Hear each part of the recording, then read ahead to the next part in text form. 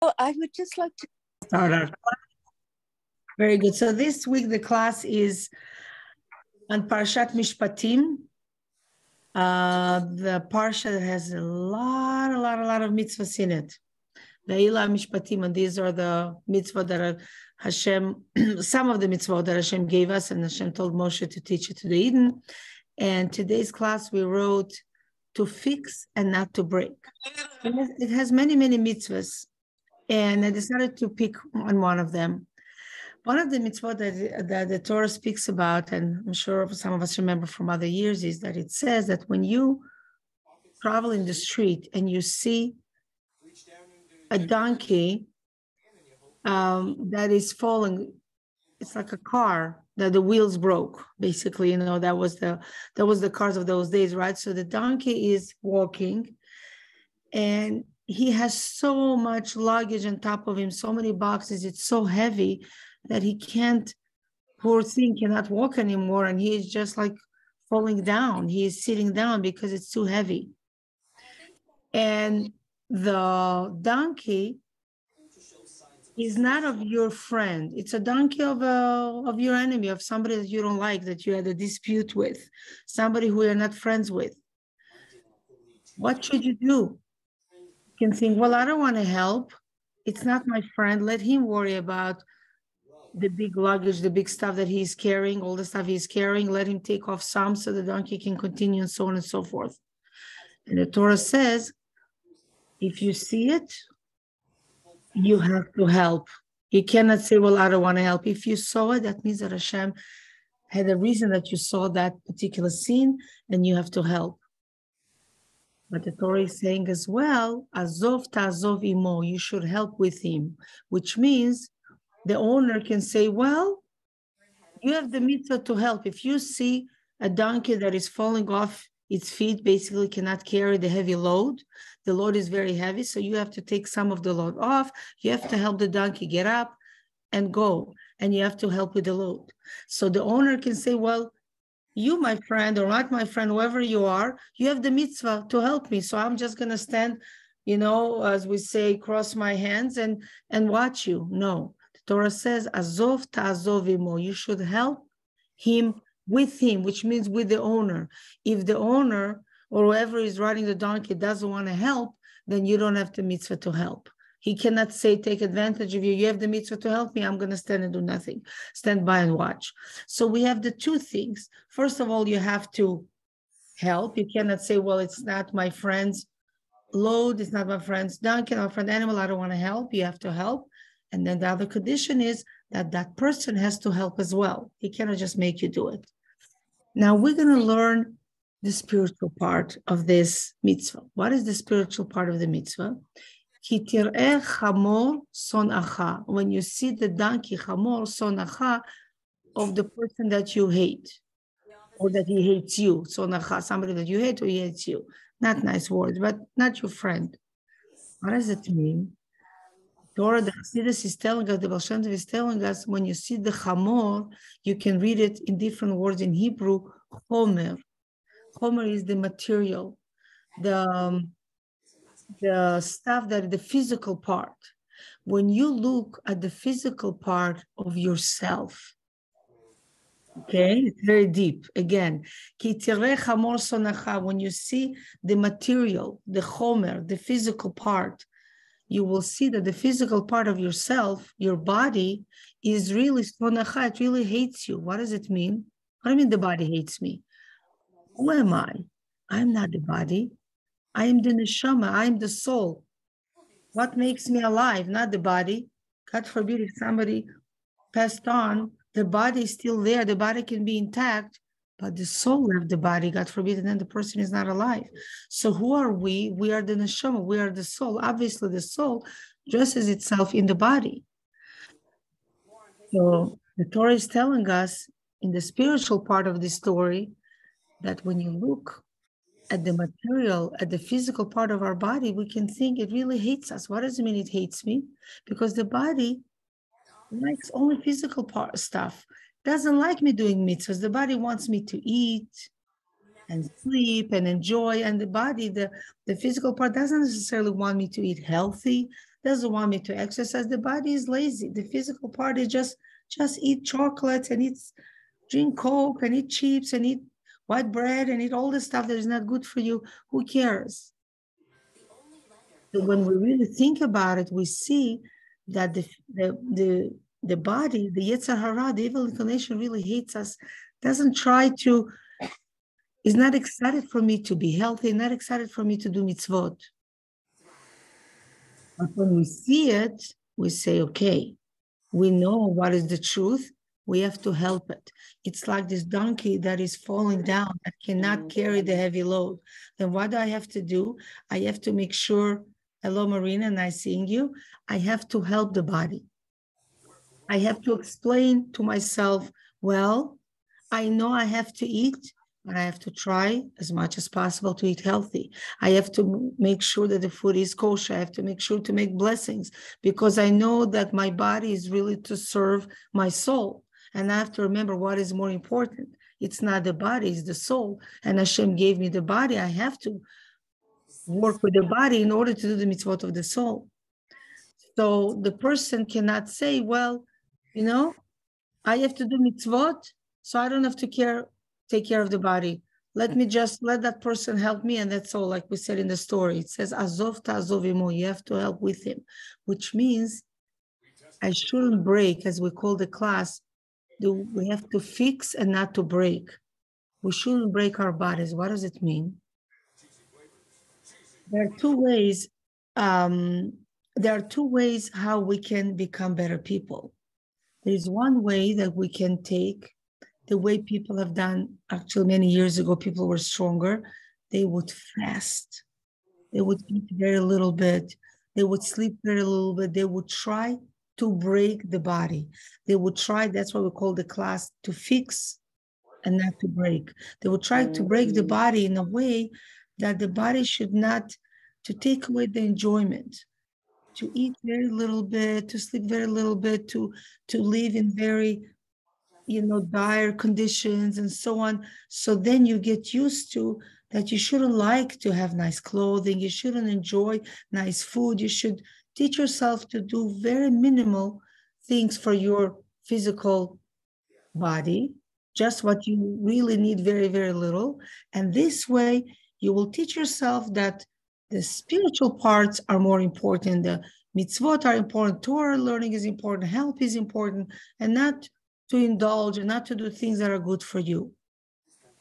But Chassidus is teaching us that nowadays this is not really the right thing to do, the right way to go. We are not very strong.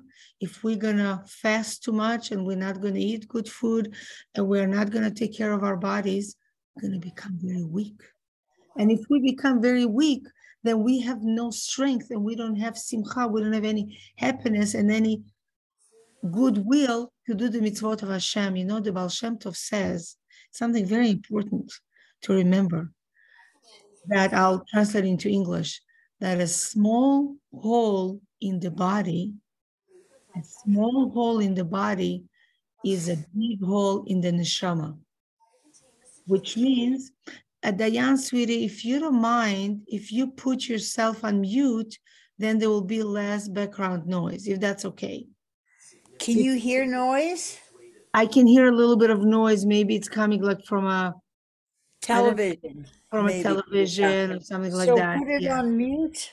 All right, let me see. Okay. Yeah. Only if you can, but you can still hear me. Hear us. Yeah. Okay, good. Thank you, sweetheart. Thank you. Just the background noise. Thank you so much. So I want to repeat it again. It's something very important for us to remember because many times people think it's not important for us to take care of our body. No, it is. We're not allowed to break our body. We have to fix it. We have to fix it in a way that it should want to do mitzvot. so the Baal says, a small hole in the body is a big hole, God forbid, in the neshama, which means, which translates, if we don't take care of ourselves and we have a small hole, we are not as healthy, we're not as strong, we're not as vibrant in our physical body, then that puts a big hole in the neshama. Why? If I'm not strong enough, I cannot do as many good deeds. I cannot help a friend. I don't have enough energy to pray well. I don't have enough energy to cook good food and tasty food for Shabbos and invite guests, and so on and so forth, as we understand. So it is very important for us to, to take care of our bodies. It's important for us not to break our bodies, but to help our bodies to be strong. But with it, like we spoke about the example that the Torah gives us the mitzvah of the donkey, that you take the load and you help the donkey together to get stronger, we tell ourselves, right, I want to do mitzvot with my body. I'm going to exercise, I'm going to be strong. So it's easier for me to walk to shul. I live far from shul. I don't want to drive. I'm going to be strong enough so I can walk to shul a long distance as I couldn't do before, but now I'm going to be strong enough. I'm going to be strong enough to pick up heavy loads to deliver food for someone. I'm going to be strong enough to be able to cook, as I said before, to invite guests it's important for me to eat healthy. So I'm happy, I'm in a good mood when we, and I'll sleep well. It's important to sleep. If I don't sleep, you know, when we don't sleep, we are tired. And when we are tired, usually we are not in a happy mood. And then we're not as excited to do mitzvot. And I think we discussed it previously that one of the things that mentioned, I think it's in Chumash Dvarim, the last Chumash in the Torah, that it says one of the reasons that Hashem that the Yidden went to Galut, went to exile, because they did not worship Hashem, they did not do the mitzvot out of happiness, out of simcha. They had everything they needed. They had food, they had health, they had everything, and they didn't appreciate it. And you think, like, what's the big deal? So I didn't do it with happiness. I still delivered the food to my friend. I gave it to, her with a sour face. So what? So I didn't do it with happiness. It's not so what. Because if we don't do something with happiness, with time, we do less and less and less because I don't enjoy doing it. And it's very hard to do something that you don't enjoy for a long time. You can force yourself so much. After a while, it becomes very, very difficult. And then we might stop doing it. So if I want to enjoy the day of Shabbos, the day of Shabbos is so special. It's tomorrow night in Shabbos. And this Shabbos growth is a very special Shabbos. Is Shabbat Mevarchim is the Shabbos that we bless the new month. And I'm going to look now at the calendar. The new month um, starts, oh, I'm already on Pesach. It's the month before Pesach. It's the month of Purim. And we're going to have a big party on Purim, God willing. Actually, we're renting the place next to Chabad and Hungarian Center. So we should have more place. And Rosh Chodesh is next week Tuesday and Wednesday, Monday night, right, actually right after Family Day. Tuesday and Wednesday, two days Rosh Chodesh is very special. And this this Shabbos, we bless the new month. And we know that uh, Adar, the month of Adar, that's we're going to learn next week, God willing, the month of Adar is the month of Simcha, the month of happiness. Happiness is very crucial in our lives. So, so crucial. Anything we do, I do something for my parents, I do something for my sibling, for my child, for my spouse. Whatever I do, I have to do with happiness. When you do it with happiness, you look better, you do it better. There's no words to describe anything we do. And now this Shabbos is very special. We're gonna do whoever can. We have the custom to say Tehillim, to, to finish the whole book of Psalms. Even if you do a little bit is good. And we say a special blessing. We bless the new month. We want to have a month of health, of happiness, no sorrow, nothing sad, God forbid, should happen. Amen, Mashiach should come already, Amen, even before the month of Adar. If you are happy, doing things in a completely different way. I, I can tell you now about myself. I'm extremely tired. I'm very, very tired. Just, lack of sleep. I woke up today early. Shlomo woke me up 6.30 his time because he got up to go daven, but he was tired, whatever. We all have our stories. Here it was 4.30 in the morning. I came late last night. Our plane was delayed, so we came late. So I ended up sleeping probably three, four hours. I couldn't sleep more. I got up to organize stuff in the house because I couldn't sleep. I was the whole day at Chabad. I went before the class, Baruch Hashem. Somebody had to go to mikvah, so we went to mikvah. I just came back.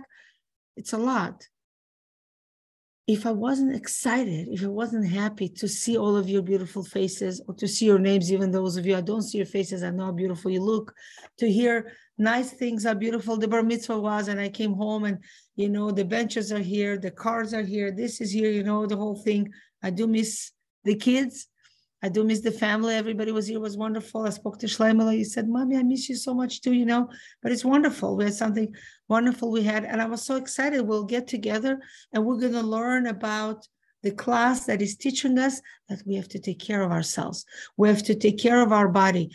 When we look at our body, we can think, yeah, it can hate me. What does it mean the body hates me? I'm just repeating for those of us who came late.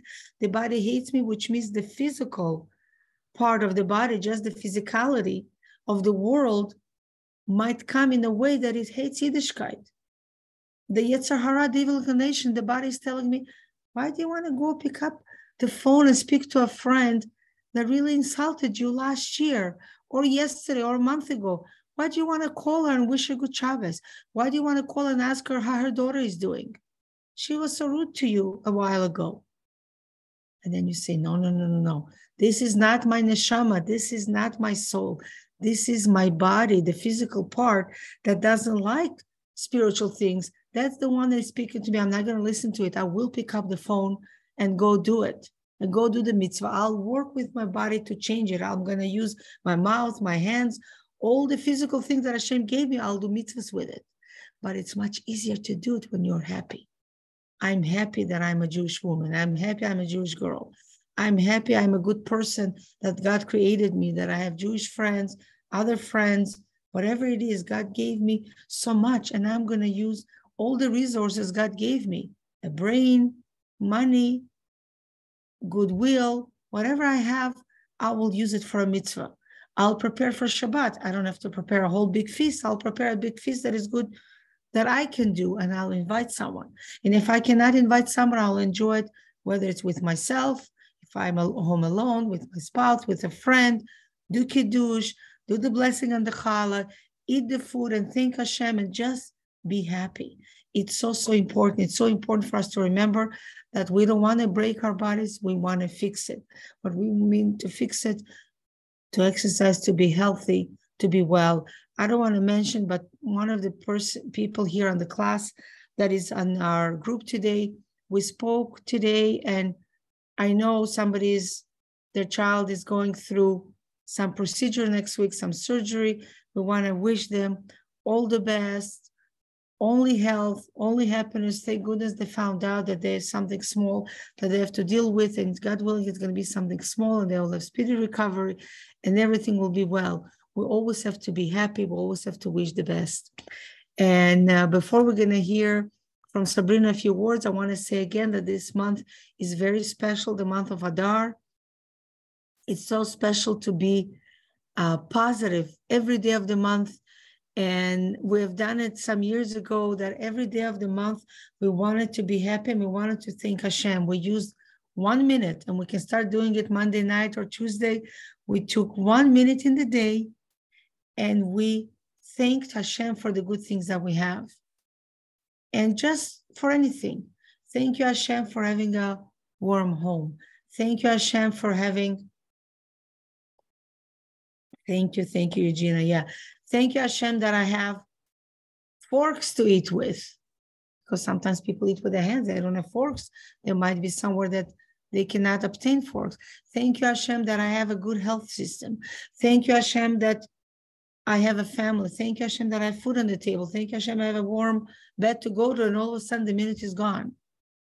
You know, and you think I have so many more things to thank Hashem for. And then the following day, let's think other things. Thank you, Hashem, this morning. Again, I could have been in a bad mood. I mean, it was a little bit difficult. I was tired. And then I told Shlomo, you know, we were speaking for an hour. It's time for you to go to school. We tried to solve the little dilemmas that he was dealing with and so on. And then I could have been in a bad mood, but I wasn't. I was tired, but I was in a good mood. Thank you, Hashem, that I have a son. Baruch Hashem that he turned bar mitzvah. Baruch Hashem that he cares to go to Minyan, but he was tired. He didn't have a ride. He had to take his bike, whatever, little things. It's hard for a 13 year old to be away from home. And it's hard to get up six o'clock in the morning and go out to daven and go to mikvah. No, it's not easy. So I helped him with it, but I wasn't mad. I wasn't upset. I was tired, but I was happy. So that's why I was able to carry on my day. And then when I got a phone call yesterday when I was heading to the airport and I see the phone, you know, the caller ID and I see the, the, the lady, the girl's name, and I go, wow, I'm so glad she's calling me again. because last time we went before we had the bar mitzvah about a week or so before. I said, That's great. We're going to mikveh again.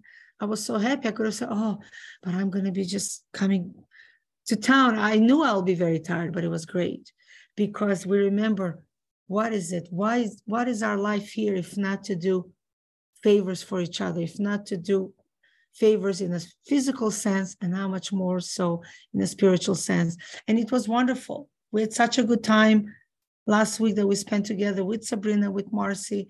We were sitting with thousands of women in the room, and we all shared the same story. We all have the same, um, how can I say, uh, challenges. This one a little bit more, this one a little bit less, but we gave, um, you know, just being together, so many people together, we give so much strength to each other. And we have to be very happy where we are. I do want to share one story with a lady forgot her name, uh, the shluch of the Rebbe that lives in China. And she shared what she had when they went back, when COVID was officially over in China. I guess it was, I don't know if it was a half a year ago, a year ago, they went back. They had to make tests. For 14 days, they were clean and they were um, quarantining. I forgot already that word. But then the 14th day, the, the Chinese government decided to tell them that they tested positive. I don't know if they were positive, they felt normal. And they told them that the, it was a scary story. They told them that the, sorry, the rule in the, um, the country is in China that if they have COVID, they have to go to a hospital for it was like a enormous long time, I think like two and a half months. They'll have to go to the hospital, but they have to go to separate hospitals, the adults and the children. Well, when she was speaking, it was just like at that time, she had the youngest was two months old, a baby, seven children, the oldest 10 or 11, to leave them alone in China, in a foreign place, in a different hospital, they tried to speak to the to the doctor because the doctor didn't know. Then he, he called the rabbi called right away the uh, US, the Israeli consulate said, "Can you help?" They said, "There's nothing we can do with China." They tried, they prayed, they tried, they prayed. This, I don't know how long they waited, and they said, "There's nothing you can do. You have to understand that you're now in our country and you have to obey by our laws. I don't remember how many days they were there and they davened so much and everybody davened. And in the end, they spoke with the head doctor, with the governor. I don't remember the officials. It was such a big miracle that they allowed them to be with their children. That's right, Holly. In the but those few hours of the day that they were that they knew that they were afraid that the government is just going to separate them and there's nobody to talk to in that place. Just that fear of somebody, of leaving little kids. I mean, I don't know how the Chinese kids survived there. And she spoke, she said that they stayed in the children's hospital with all the kids. And every night, you know, they made activities for the kids and so on. Those poor little Chinese kids would come and join them and they would read to them and they would give them love because those kids were without their parents. And they told them that they were the only ones in the history there since that COVID thing that they started that they didn't allow, like so cruel, didn't allow children to be with their parents. They had to be in separate hospitals. I don't know why. They allowed only them. It was like the biggest miracle. I mean, two months old baby, the baby was probably a nursing baby. Like it's unheard of. What a miracle what a big, great miracle they had. I think they came there, they said it was around Hanukkah time, and they came out closer to Pesach. What a miracle it was that they didn't have to stay there Pesach. Then she said all the problems they had with Pesach, with the matzah and whatever, and they survived there with the food because the other families that already were in China the other Chabad families sent them food. Thank goodness that they helped them, that they allowed them to deliver. They send the food and toys and, and activities and just things. And they really used that time. They said that later on, they look back now, that it was very special two and a half months that they spend quality time with the children because they couldn't do anything else. They weren't allowed to go out and nothing else. And obviously, they gave as much love as they were able to to the other Chinese children that were there without their parents and needed that love and warmth and so on. That was just one of the stories that you know that I heard that Shluchos shared. You know, many shared stories. Not everybody, obviously. Every year they just choose some people to share some things. I remember I shared our story when we just moved there. Was in the early when we moved there in 88, 89, but I spoke in the early 90s, you know, how we came, how you started a new place, and you know, we all learn from each other. Baruch Hashem. So special Shabbos, special teaching. We're gonna get take, we're gonna take care of ourselves, of our bodies, and we're gonna teach ourselves how to use all the goodness that people that I people that I felt very uncomfortable being around because the biggest fear for I'll speak for me is that appearing like a fraud, a person that is coming into something that I don't belong in. And it's very intimidating as a as a Jewish person, a woman for me to it's like it's amazing. You're sitting around with all these religious, righteous people, and they all are kind and they're good and they're they're nice and they're sympathetic and they don't judge. And my life was always, you know, you're always judged, you're at work, you know, you never know what people are thinking, you're untrustworthy of them. And all of a sudden you're in a world of Jewish people that are kind and and they're always everything you can waking up to them is amazing oh you're so amazing and and i always feel funny like no no it's nothing really and being around and rachel is a very busy woman i've learned that for sure because if it's being with her she's most of the time working. And uh but it, it's an amazing thing. I think it would be nice if if more women in our community could come. It's it's definitely an eye opener into a lifestyle that's they take the mundane and they elevate it to such an extent that everything that all of us Canadian Albertans do it's it just doesn't touch any of the things that they do for a woman to live in a two bedroom apartment in a not so great area with six or seven children to me how can I fetch? How can I? What's my biggest problem? I have no big problems, thank God. But these women smile and they're modest and they're kind and they're and not simple, physically simple, but mentally they are they are so high. And I I I want to be like that. And it's a bit, it's a long road for me, but I'm so thrilled that I got to be around it's it's a sorority of Judaic sisters. Uh, and uh, they love each other and they're kind. Essie Essie Groner's mother came up and said, "Here's a dollar. I want you to, you know, make a donation." And I'm thinking, "What's a dollar? A dollar is nothing." I'm embarrassed. Oh, here's a dollar. I would be like, "No," but it's. I think she's just carrying on where the where the Rebbe did, and I learned a lot about uh, the Rebbe's wife. Uh, she was an incredible woman and she Sorry, she what? did- Sorry, one minute was?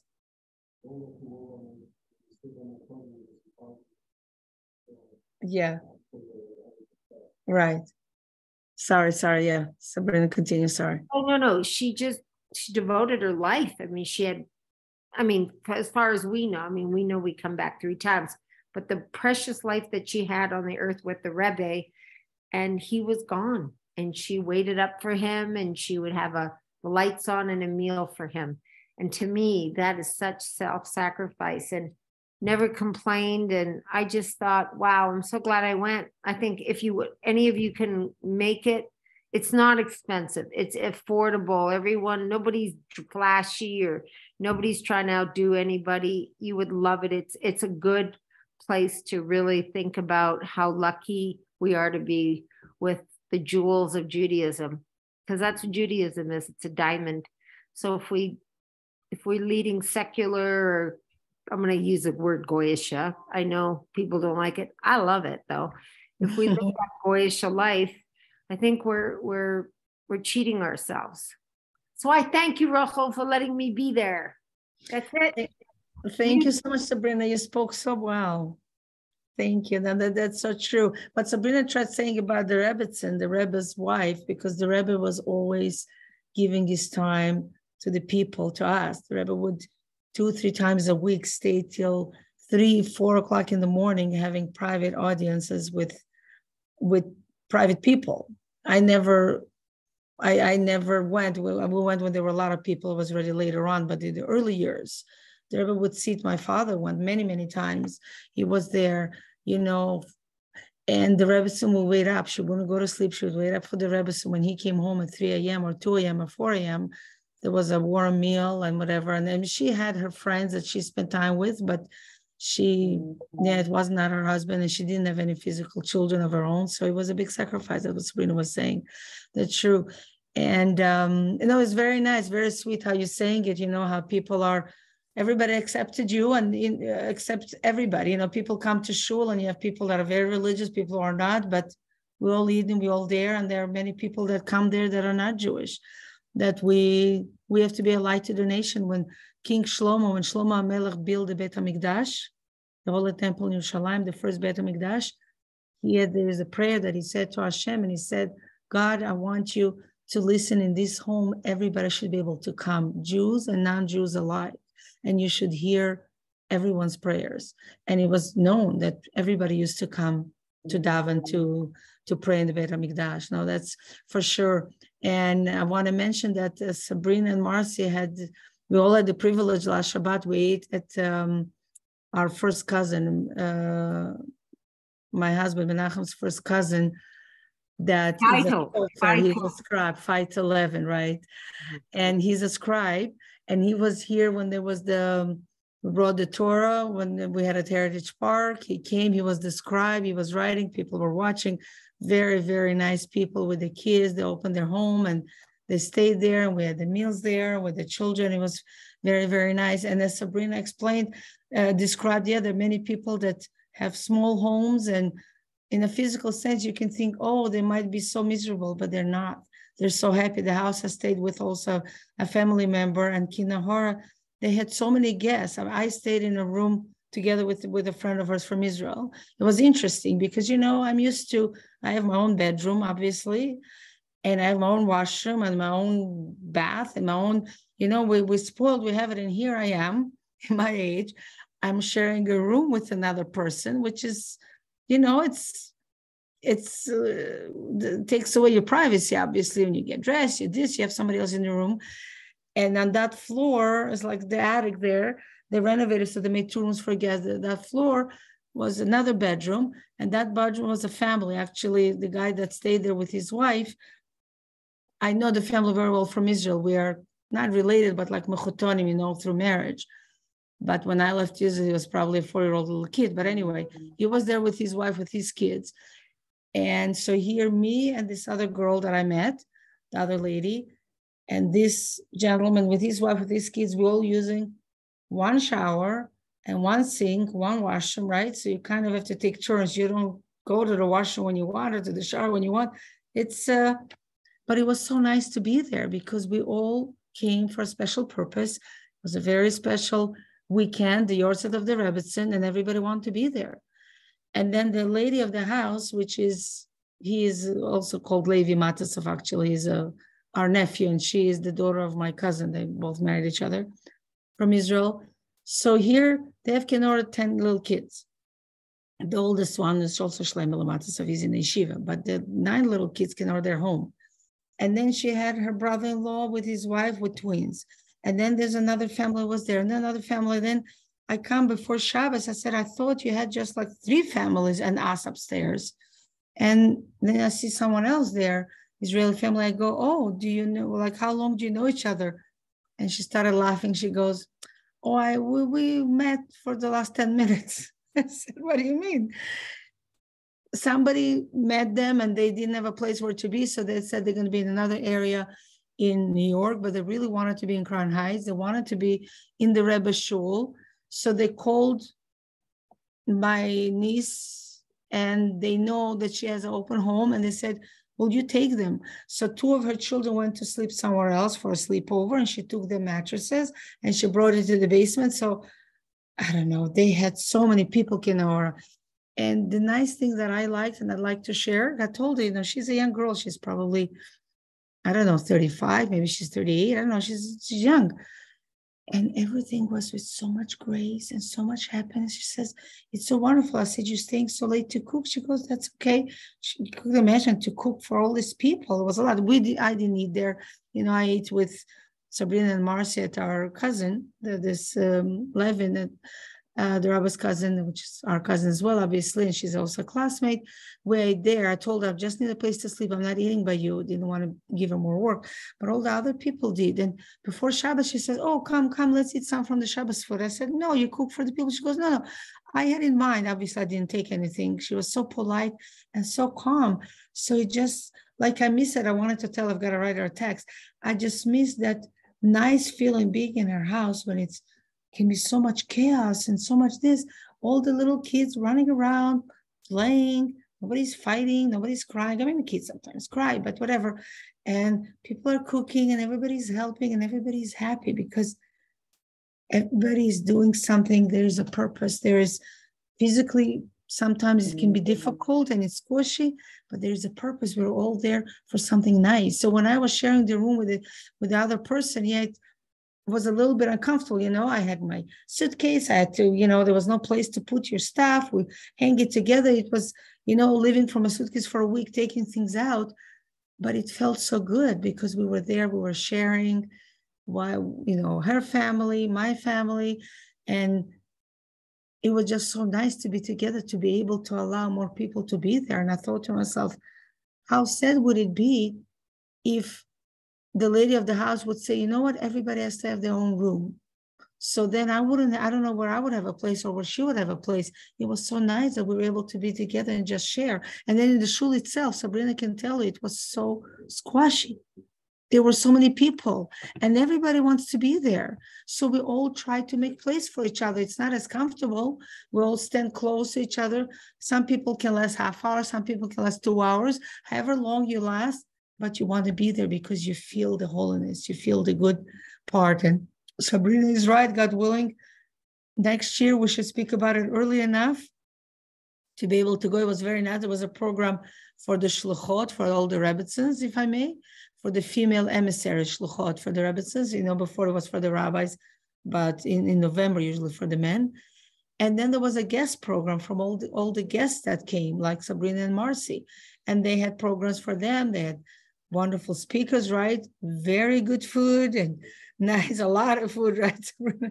I gained probably like five, six pounds for just being there because you eat late at night and the food is so good the cheesecake and the salmon and the chicken and the meat and the the salads and the pastry just like pizzas and oh, too much and you think okay you can eat a little bit because we don't have it in calgary you know so readily available so but you know what happens you eat a little then you eat more then you eat more and by the time you come home it's like wow but anyway now we're going back on our diet I have to interject.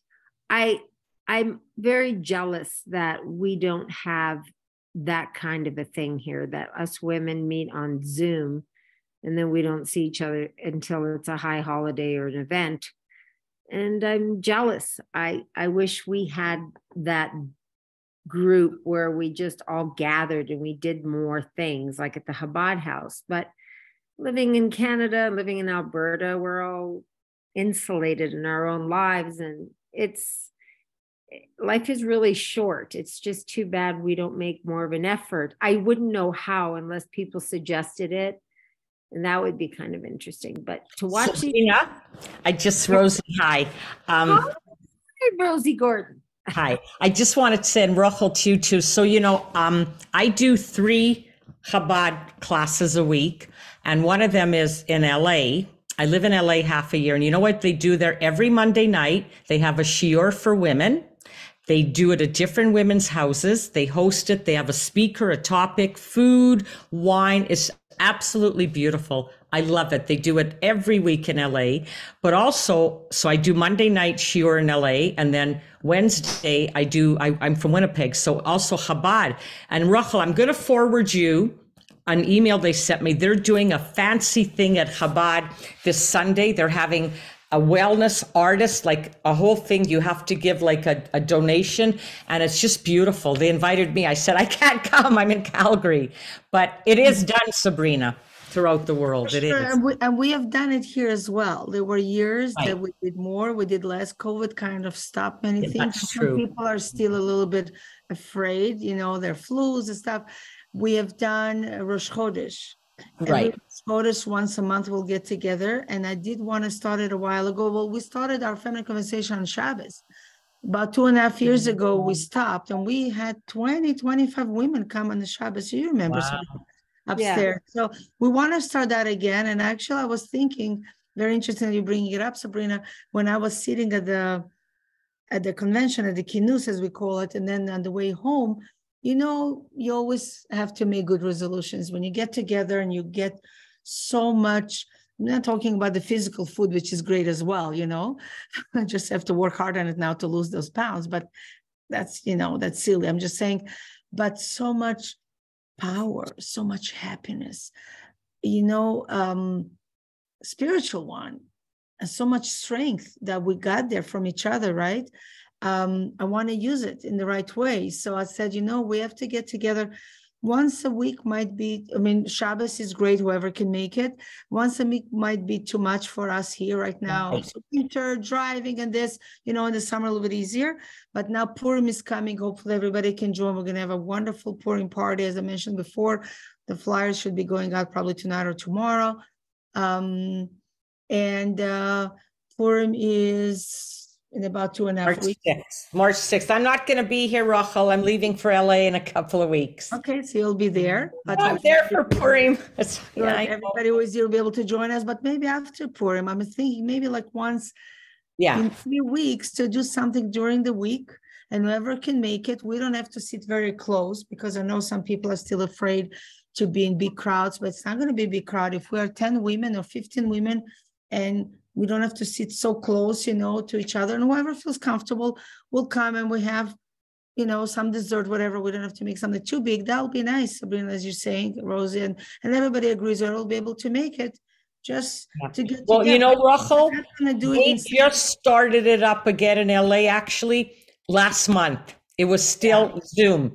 They just started the houses. Now, yeah, and many people are starting. Yeah, Like, we a can month do ago. homes, We can do in Chabad, we can do, Yeah. right, it's a very good thing. We, we've done it also. And the Rosh Chodesh group we have done, I really would like to start, maybe in the summer will be easier. That every Right. Rosh Chodesh we met, whenever Rosh Chodesh was, like if it was a Friday night, then we did it the day before. And we had a different topic or we had questions and answers. And some women like, you know, they hosted it in their homes. The nice thing is that when you host it in your own home, then at times you might invite people that will come to your house will not come to Chabad house or to another person's home. Right. So it's nice, it just opens, you know, the people that came, but it is nice. It is nice. And and it's a good thing to be jealous of, Sabrina. I, I appreciate that you use that word because it says in the Torah um, that we're not allowed, it said, "Lo tachmod," we're not allowed to be jealous. We're not allowed to be jealous of somebody else's property, somebody else's spouse, somebody That's right. else's wellness, somebody else, you know, it's not good to be jealous. But Torah says, Kinat sofrim tarbe chokhmah. When you're jealous, a sofrim is scribes, which means somebody, if you're jealous of somebody who knows, who knows sefer, books, somebody who is more intelligent, somebody who does mitzvot, somebody who is good, um, somebody who is on a high level on a spiritual sense, this is good. Why? Because when you're jealous of someone like that, not jealous in a bad way that you're, oh, I wish I had it. Yeah, I wish I had it. So you want to be like them. If I'm jealous, why my friend drives a Ferrari or why my friend has a house of 10,000 square feet and I don't, that's not a good jealousy. That jealousy only is going to bring to hatred because there's nothing I can do. I cannot afford a car like that.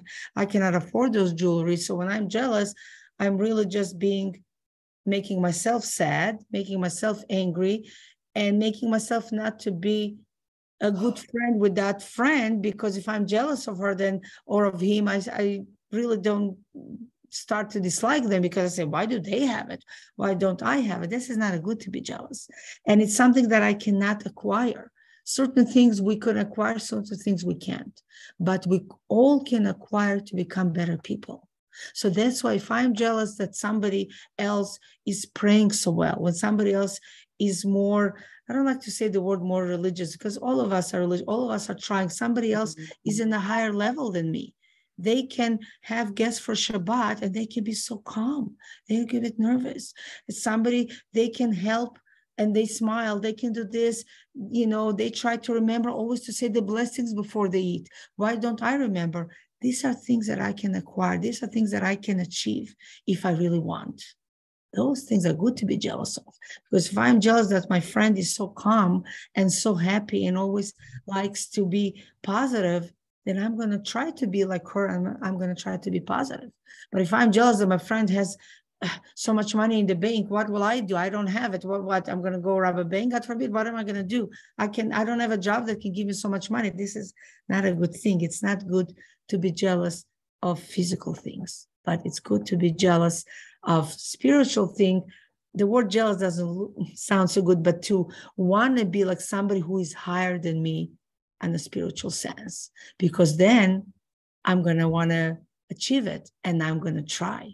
It's all, it says that um, when on physical ter- on physical things, you should always look at someone who has less than you. Yeah. And on spiritual things, you should always look somebody who has more. So at times when things are hard and you go, oh, why don't I have this? Why don't I have enough space? My house is not big enough. And then I'm thinking, wow, I have people that have many children that live in a very small house. And all of a sudden I go, oh, my house is very big. If I'm jealous, why this person, oh, I don't have a big car. And you think, well, these people look at their car. Well, I'm not driving a Ferrari, I'm driving a Chrysler, but uh, but this person is driving a I don't know even a old car from 20 years old. So you always look at somebody who has less, and then you feel you're so wealthy, you have so much because look at all the people that have less. But obviously, when we look at mitzvot, you don't have to say, well, I'm doing Shabbat. That lady doesn't even light Shabbos candles, so I'm very good. No, no. You look at somebody, they light Shabbos candles, but they also do kiddush. And they also invite people to their homes. And they also try to make it to shul once a, a week not once a year. And they also try to do this. I want to be like that friend that is doing so much. So then slowly but slowly we're going to try to reach it. Wonderful wonderful class i learned so much tonight from all of you girls just by listening just by learning together just by encouraging encouraging each other that a small hole in the body is a big hole in the neshama and that's very important for us because as we get older, as we grow, all of us, we're not as strong. And we think, ah, it's not so important. No, you get up in the morning, you have to pray, but you should also exercise. You should also drink your juice. You should also eat healthy. You should also take a walk or whatever it is to be stronger. Because when I'm stronger, then my soul can be stronger because I'm going to be able to do many things. If God forbid somebody as a whole, if somebody is not well, they cannot do as many things. Obviously, it's not always in our power, but whatever it is in our hands, we tell Hashem, Hashem, give me health, give me power, give me money, give me the stuff I need so I can serve you better. I'm not just using it for me to indulge myself, but I'm sharing it with other people so I can serve you better, so I can put a smile on somebody else's face. How nice it is when you buy someone a gift, when you give something to somebody, and those people are so grateful and you know you made them happy. It's mm-hmm. better than you did it to yourself. You know, many times you want to eat something and then you say, okay, I'm not going to eat it. I'll give it to someone else. And just to see the smile on the other person's face that you made them happy, it's worth so much more than eating it myself. I'm not hungry. It's okay. I'll eat another time. Isn't that so, Sabrina, right? It was nice. It was nice also to go to kosher restaurants and just just see people, you know, two o'clock in the morning, people are buying, you know, there's like a chocolate, it's called, right? It's like 20, it's like a max 24, mm. but it's almost food and nice food and tasty food. Nice. Right? It's nice. nice. Very nice. Thank you so much, girls. We should all have a